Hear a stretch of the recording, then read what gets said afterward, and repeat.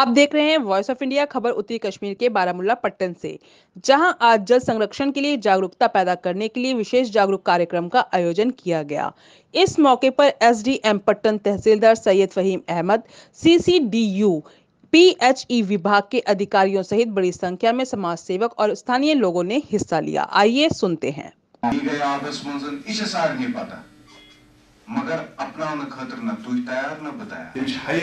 खराब कह मे याद ये लॉक ओसुस स्कूल गोड गोड मेस लाइफ। सुबह वथा सान घर मज नीर ड्रेन मज गसा इस चनुक यहाँ पटन में C C D U P H E department की तरफ़ से एक प्रोग्राम का इनका किया गया रिगार्डिंग वाटर कंजर्वेशन इसमें जो डिफरेंट स्पीकर्स थे उन्होंने इस बात पे रोशनी डाली कि पानी कितना अहम है और, इस, और इसका कंजर्व होना कितना हमारे लिए ज़रूरी है।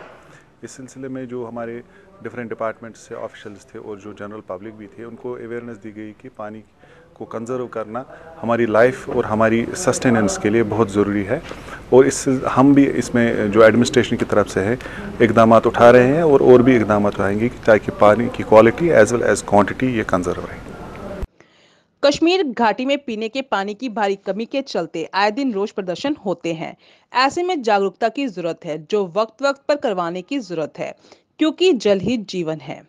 ये थी बारामूला पट्टन से राही निसार की रिपोर्ट। आप देखते रहिए वॉइस ऑफ़ इंडिया वादी कश्मीर में बाग वालों का आजमाया और परखा हुआ ग्रीन प्लेनेट बायो प्रोडक्ट्स का power plant DF organic spray oil जो ऑस्ट्रेलियाई तकनीकी इश्तराक के साथ लेटेस्ट नैनो टेक्नोलॉजी और टॉप क्वालिटी एडजुएंट से तैयार किया गया है। अपने बागात को San Jose scale red mite और वूली एपिड से बचाव के लिए छिड़काव करें। Power plant DF organic spray oil green planet के हर ऑथराइज सेंटर पर दस्तियाब है। इससे माहौल और पेड़ पौधों पर कोई बुरा असर नहीं होता। DF organic spray oil cost से तस्लीम शुदा है।